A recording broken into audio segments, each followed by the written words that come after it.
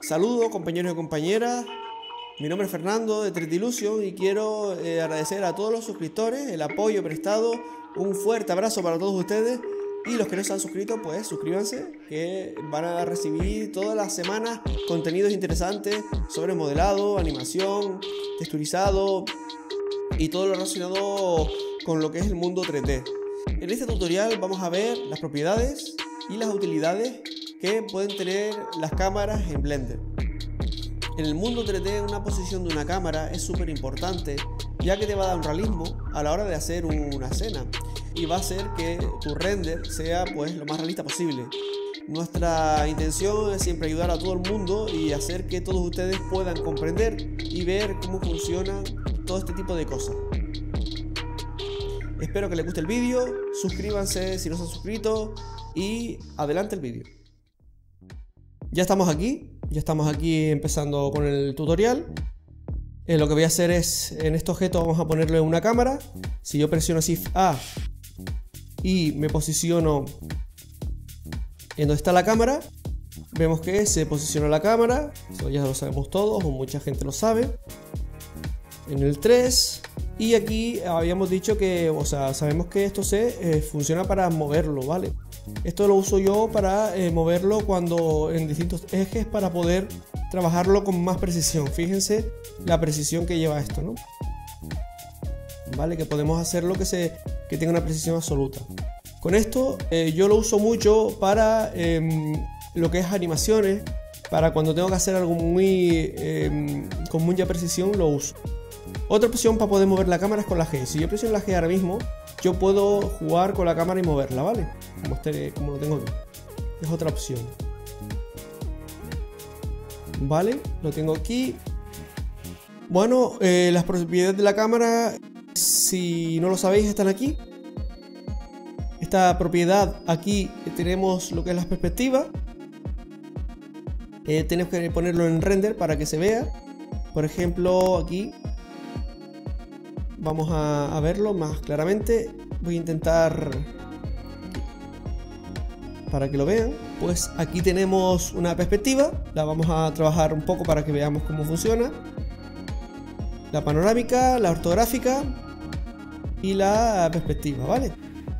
Tenemos varias opciones para esa misma cámara. La panorámica se nos abre aquí varias formas de verla. Fíjense cómo esto me va aumentando, me va disminuyendo lo que es la, panorámica de esa, de esa imagen. Es como un ojo de pez, ¿vale? Me imita un poquito el ojo de pez, lo podemos acercar, alejar, podemos hacer eh, cambiarlo o, no, modificarlo o no. Bueno, después tenemos la ortográfica, donde aquí abajo tenemos también las propiedades de la ortográfica, ¿vale? Acercarla, alejarla y demás. Cuando vayamos a hacer una animación, esto es muy potente a la hora de hacer una animación de acercar y alejar. Yo aconsejaría que en vez de sacarlo de aquí, lo hagamos desde aquí. Sí que es verdad que no aconsejaría hacer los paneos laterales desde aquí, ya que eh, fíjense cómo trabaja la, la cámara cuando lo hago desde aquí. Se deforma, ¿lo ven? Entonces, igual que esto también, esto hace que la cámara se deforme también de alguna manera. Entonces, siempre con mucha sutileza, vamos a ponerle 2. Por ejemplo, aquí vamos a hacer 0 siempre con mucha sutileza para que esto funcione adecuadamente, ¿no? Vamos a hacer un poquito más para atrás. Pues podemos hacer varias posiciones o varias cámaras, varios planos de distintas maneras, ¿no? Como hemos visto aquí. La ortográfica y la perspectiva. Voy a poner ortográfica para verlo así.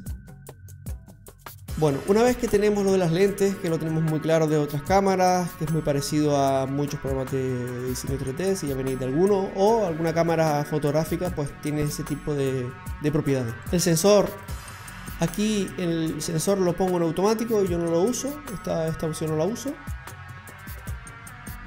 Aquí es la salvación de la, área, que, que Safe Areas, por ejemplo, Fíjense cómo, me vean cómo se mueve este, este cuadrado. Todo lo que hace pues simplemente es ajustarme a la cámara. Vemos que ahora mismo el, esto está centrado perfectamente.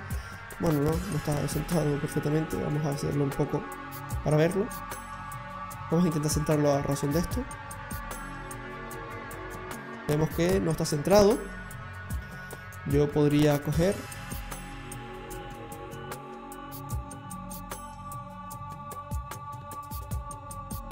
para arriba por abajo y la y este aquí puedo con la G llevarlo un poco al sitio fíjense como ahora sí está más o menos centrado ¿no? con esto hacemos el recorte que necesitamos para centrar la cámara eh, a, a la vista ¿no? Es bastante útil también. Otra opción tenemos background. Eh, aquí podemos poner eh, una imagen de fondo. Por ejemplo, vamos a poner una imagen nuestra. Aquí yo tengo una imagen bastante buena. Vamos a cambiarla.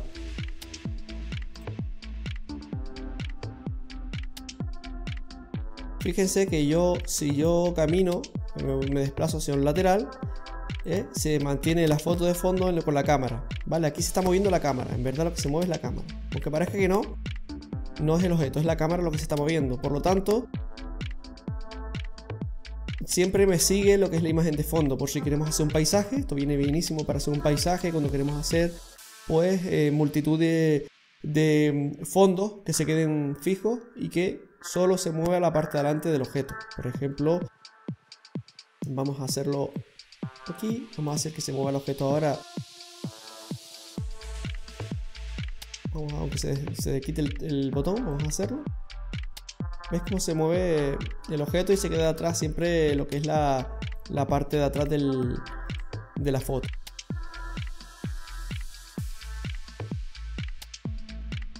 Otra opción muy buena también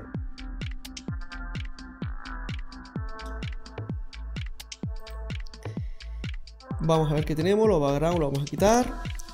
Tenemos también eh, la opción de eh, la vista del display, es decir, podemos hacer que en la cámara se vea el nombre, se vea, fíjense cómo voy, a trabajar.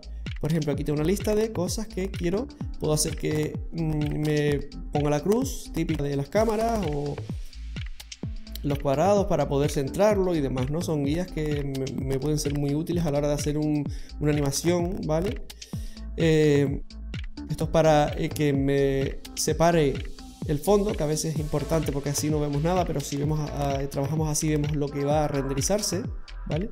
Aquí vemos los limitadores, el mist, lo que es el sensor, el name, nombre de la cámara, para que se vea todo lo que es las cosas que nos interesan de las propiedades de la cámara. Esto no va a salir en render, solamente saldría en nuestro trabajo aquí. Eh, las propiedades y el... Eh, esto es el focus. Con esto logramos que eh, se enfoque hacia adelante y lo de atrás se lo vea borroso. Vamos a ver un ejemplo, por ejemplo. Vamos a ver, control shift D. Una copia, la ponemos aquí atrás. Cero. Vamos a hacer lo que se vea un poco, así. Y vamos a cambiar el color para que se nos vea de otro color para, ver la diferencia, ¿no? Trabajándolo un poco. Yo le voy a decir la cámara está aquí, selecciono la cámara. Si no seleccionamos la cámara, no aparece aquí la cámara, ¿vale? Por si vean que no, no aparece. Tenemos que seleccionar la cámara. Una vez seleccionado, le decimos quiero que se me se me alinee, se me está alineando a un objeto que tengo aquí dentro del objetivo. Estoy presionando la Z, lo vemos. Aquí, esta parte de dentro, ponemos el render.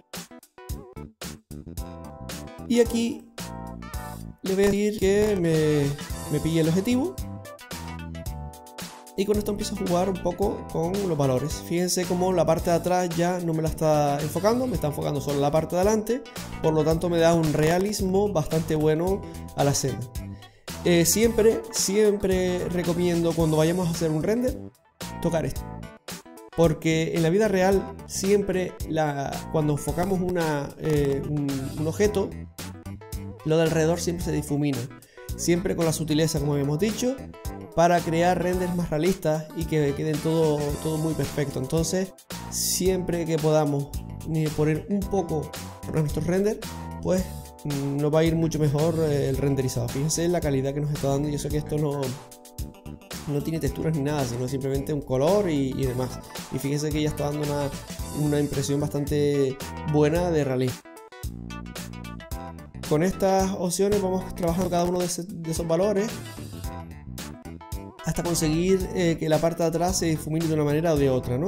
Con estos valores aquí lo vamos controlando trabajando hasta que se nos quede bastante bien la parte de atrás. Esta es la distancia, la podemos hacer más lejos, más cerca, ¿no? Y podemos conseguir también, fíjense que se lo quito. Pues me va a dar ese, ese realismo. ¿no? Ya las propiedades de la cámara están un poco eh, vistas. Bueno, pues ya lo tenemos así, vamos a borrarlo de atrás para que sea más fácil. Una vez realizado esto, vamos a empezar con un poco la animación de la cámara, cómo se anima una cámara.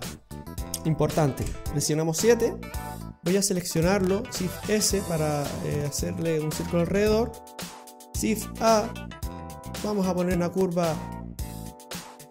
Y con la S se lo dejamos así este tamaño. Bueno, pues ya tenemos la curva, falta la cámara, 7, como dicho, presiono aquí, Shift A, cámara, 3, la voy a subir un poco y la roto hacia adelante. Y aquí adelante. Shift S. Cursor a la selección. Shift A. Un Enti y lo pongo aquí adelante. Y emparento esto con el Enti control P. Objeto, ya está emparentado. Lo llevo a la cámara. Esto lo subo un pelín Bien, ya lo tenemos. Ahora voy a emparentar, ya está emparentado. Ahora lo que voy a hacer es selecciono la cámara y me voy aquí donde pone este, este icono. Y aquí selecciono Follow Path. Aquí arriba le doy a Null y le doy a Animación Path para que ya me vaya animando el tema. Aquí para que vaya a la curva y aquí arriba, como habíamos hablado anteriormente, ya lo vamos ajustando a lo que nosotros queremos. Voy acercando. Por ejemplo aquí. Aquí, por ejemplo.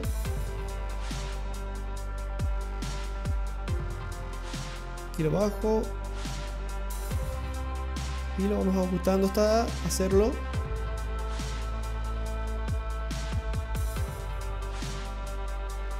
parece que me gusta. Vale, ahora vemos que tiene un salto, un pequeño salto el objeto. Eso se quita, si selecciono aquí, me voy aquí y le digo aquí que lo quiero a 1. Fíjense que ya me lo ha quitado. Una vez que tenemos esta animación, vemos que da un salto, un pequeño salto. Fíjense cómo queda... Exacto, da un pequeño salto. Bueno, eso vamos a animación. Y aquí en animación vamos a arreglarlo. Seleccionamos el apartado este. Y para que no... Vamos a ver aquí abajo que estoy buscando. Animación, aquí. Aquí tiene 250, pero yo lo que quiero es que el salto, si vamos aquí a Follow Path, aquí a en Path Animation, ves que tiene, que tiene 100. Si yo le pongo 250, ya el salto no me lo haría iría más despacio. Supongamos que lo quiero un poquito más rápido, que lo quiero... Eh, bueno, vamos a ponerlo en esta, distancia, que va despacio, ya no hay salto. y me llega aquí y ya no salto. Porque lo he puesto a 250, que es a 250 como está aquí. Por eso ya no da el salto. Y bueno, lo que yo quiero es que a lo mejor haga esto y aquí me vaya un poco más rápido y después se vuelve a poner lento. Si yo presiono aquí, se me crea un keyframes aquí. Si yo ahora camino con esto y digo aquí, ahora yo quiero que de aquí a aquí me vaya más rápido. Tendría que bajarle esto. Vamos a ponerlo a 70. Y le doy a la piecita esta. Ya me lo pone. Entonces ya lo que hago es, fíjese, que quiero que a lo mejor esto que vaya un poquito más lento, pues lo, separo.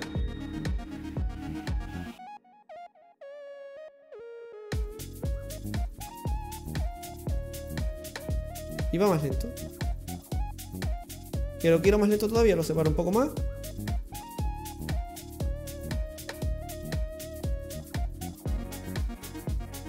Y hace ese efecto de la animación esa más rápido, más lento. Una vez entendido esto, voy a crear una cámara en la vista superior. Shift A, cámara. La hago hacia arriba, vamos a eh, aquí en layout. La hago hacia arriba.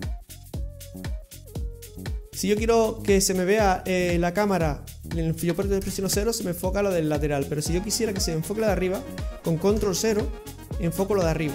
¿Vale? Yo quiero ahora mismo que eh, a lo mejor en, en el segundo 3 se me vea esta cámara. Me presiono aquí. A ver si encuentro. Aquí en Maker. Make. Y aquí. Fíjense que se me marca la cámara esta. Entonces yo hago así. La tengo aquí.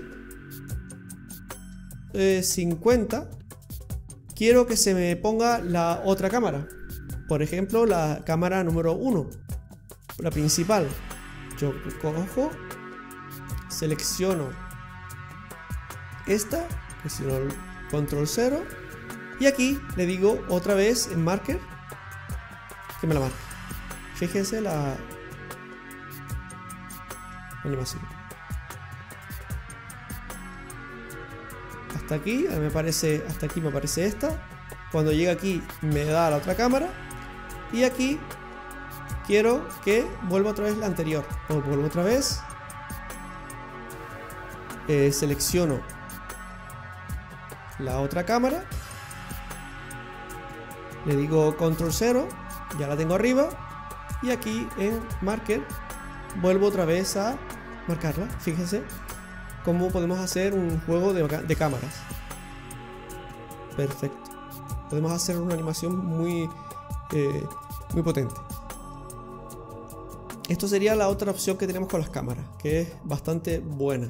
Si hay una cosa que también quiero hablar aquí y es el render. Muchas veces cuando hacemos un render, vamos a poner la 7 por ejemplo, que está aquí. Y yo quiero hacer un render de esto. Yo la pongo aquí imagínense que yo quiero hacer un render del... Vamos a hacerlo rápido para que no... Digo, yo quiero hacer un render. Hago un render con Eevee. Perfecto, lo ha hecho. Pero yo quiero hacer un render que, se vea eh, el modelo solo, no, no el color. ¿vale? Para eso, vamos a donde pone aquí, donde pone aquí Workbench, nombre extraño, Workbench, ¿vale? Fíjense cómo ya yo aquí, si yo renderizo, se me renderiza como la parte de fuera, ¿vale? He estado haciendo pruebas para ver si me renderiza con el... No he logrado hacerlo, que, se me vea la, la malla. Vamos a ver si aquí me lo hace. Porque este es el blend... El...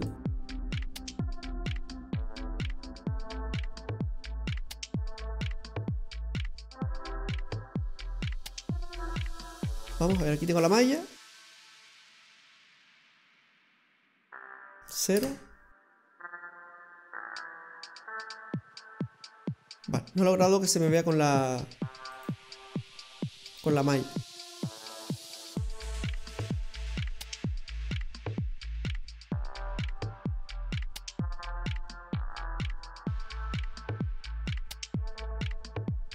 Vale, pues un render que el otro día estuve buscando, no lo encontré y está aquí.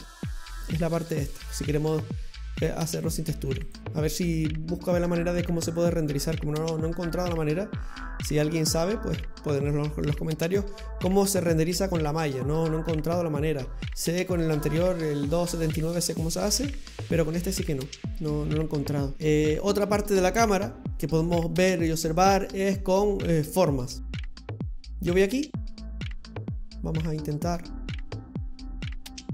quitar la malla esta. Vale, ahora vamos a intentar hacerlo de otra manera. Si yo, vamos a borrar todo. Y la cámara esta que está aquí abajo también vamos a borrarla para que no nos interfiera.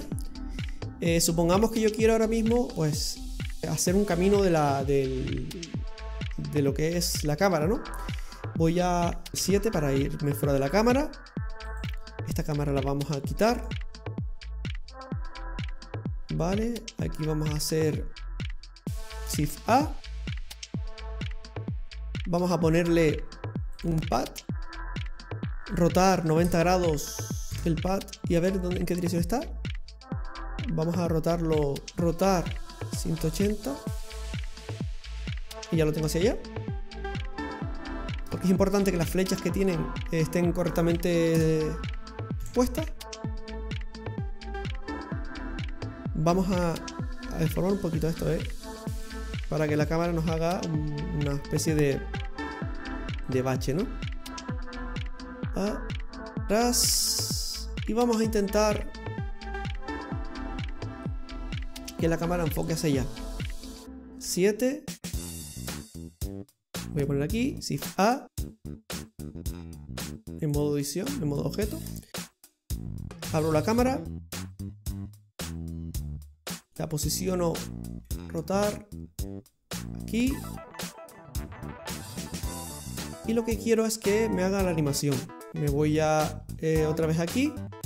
Le digo follow path selecciono selecciono lo que es la, la parte del, de la curva del vector vamos a ver qué ocurre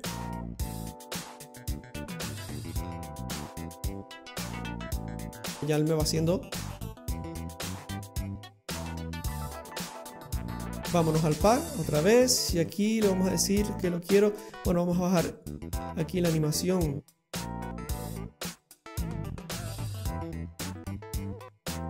Y aquí le digo que lo quiero a 100 y así me lo hace así. Y me vuelvo a empezar. Bueno lo tengo aquí a 100 vamos a, a para verlo desde aquí y Evidentemente no lo tengo posicionado. Si lo posiciono hacia allá, voy a esto a rotar en Z y aquí juego con esto. ¿Vale? A la curva. Vale, lo tengo. Perfecto. Fíjense cómo me lo va a hacer al revés. Vamos a hacerle menos X, a ver. Exacto.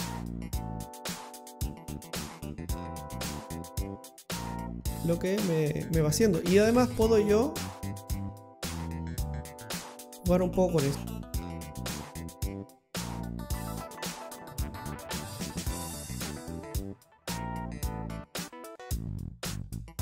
Da muchísimo juego a la hora de trabajar con esto y con esta. Le decimos en qué, en qué vía lo queremos, ¿no? Si lo queremos en una vía, en otra, y lo vamos trabajando hasta conseguir lo que, lo que nos interesa, ¿no? Aquí vamos cambiando los ejes cómo va trabajando. Dependiendo del eje en el que trabajemos, pues se va moviendo. Es también bastante interesante a la hora de animar una cámara, pues con, este tipo de cosas. Yo cuando voy a animar una cámara eh, prefiero animarla con, con, curvas y vectores, ya que es más, más progresivo. Cuando lo hacemos manual, porque yo podría animar la cámara manualmente, también vamos a animar la cámara manualmente. 7, 3, 1. Shift A, cámara, 0 para verla y vamos a ajustarla. Yo podría... Me voy a animación, yo quiero animación, unos segundos antes siempre, pues resulta que yo quiero la cámara, fíjense que yo voy aquí y la tengo aquí. Pues inserto un frame, ¿vale? Que se me queda esto en amarillo y se me posiciona aquí. Ahora aquí quiero que haga esto. Por ejemplo, pues lo que hago es... Y ahora quiero que aquí, pues, este me, se me aleje. Y este se baje. Vuelvo otra vez. Fíjense cómo la animación sería. Pero tiene una... Eh, es muy bruta, una animación muy bruta, ¿no? Se podría trabajar en la curva. Aquí están las curvas de las animaciones, que con esto yo puedo eh, trabajarlas y hacerlas más que vean más rápido o más lenta en, el tiempo. Pero a veces te ahorra más tiempo si es alguna animación sencilla. En vez de tocar aquí si no entiendes mucho y no, no estás muy conocido, es preferible que lo hagas de la otra manera con un VCS despacito y haciéndolo.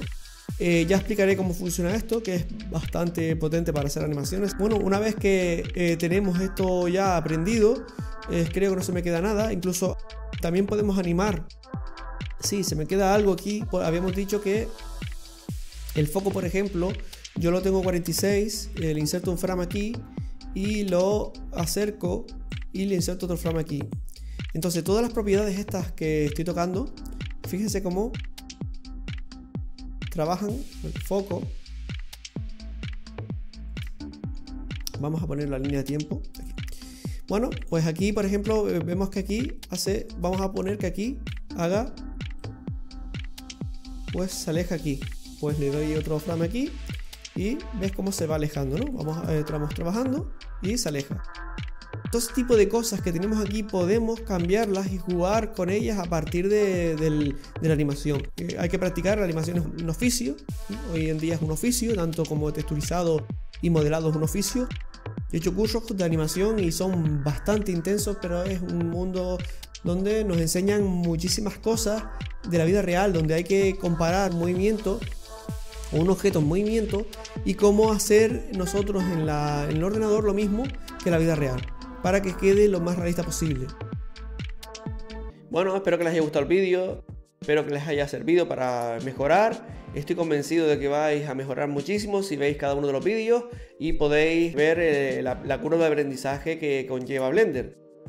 No obstante, eh, seguiremos aquí dando cursos, eh, seguiremos explicando cada cosa, seguiremos viendo las dudas que tenéis todos ustedes y poder resolverlas pues en los vídeos. También quería recalcar una cosa importante, unos, consejos, y es que cuando vayáis a crear una cámara, antes de posicionarla, pensar que queréis que la gente sienta. Cuando es una foto, pues un render de un estático es más fácil centralizar el objetivo ya que es una foto, no se mueve y lo podemos poner en, el punto de mira que queremos y con, jugando con las luces y los colores pues damos una sensación de frialdad o una sensación de calidez.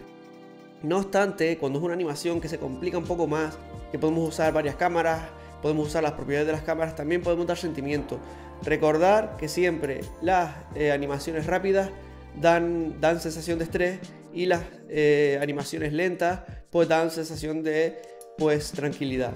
Con ello, ¿qué quiero decir? No significa que mm, nuestro personaje deba eh, centrarse solo en estas dos opciones. La animación la daremos en otro vídeo y demostraremos cómo una animación puede, simplemente la animación sin tener textura, eh, prácticamente una o dos luces, podemos mostrar al público pues cierto sentimiento, ¿no? Se pueden hacer pues escenas brutales.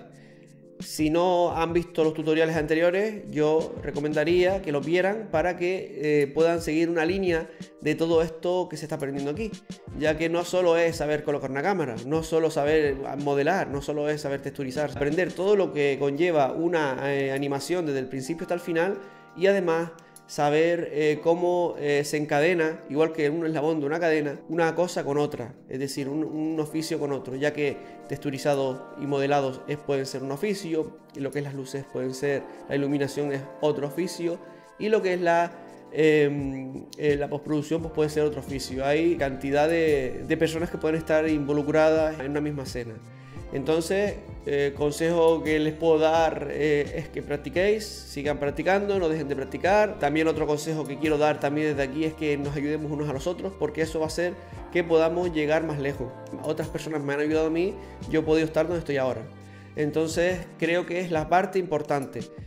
Eh, hay que ayudarse uno a otro, no, en este mundo no hay competencia, todos somos iguales, todos podemos ayudarnos y creo que es la manera de poder llegar lejos. Es más, cuando nos unimos llegamos al objetivo que queremos. Por ejemplo, yo lo que he hecho es, pues, eh, para hacer ciertos trabajos, he trabajado con varias personas y la verdad que hemos conseguido eh, unos objetivos brutales estando todos en una misma línea y todos ayudándonos. Con eso se consigue muchísimo, ¿vale?